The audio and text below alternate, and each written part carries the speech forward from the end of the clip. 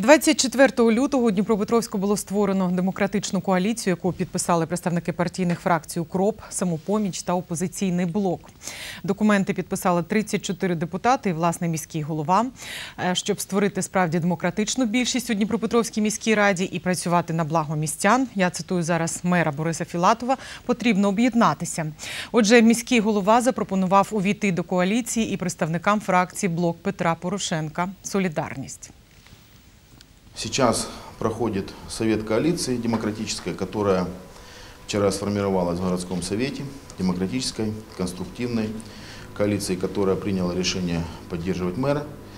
И первым решением, которое сегодня было принято на Совете коалиции единогласно, э, это было решение обратиться к фракции блока Петра Порошенко «Солидарность» с предложением присоединиться к коалиции. Мы призываем наших коллег по демократической партии блоку Петра Порошенко присоединиться к коалиции в Днепропетровском городском совете для того, чтобы мы э, создали сильное, стабильное, конструктивное большинство, которое будет работать на интересы нашего города. На данный момент вопрос еще не решен. Э, Мы ведем переговоры с представителями политической партии блок Петра Порошенко.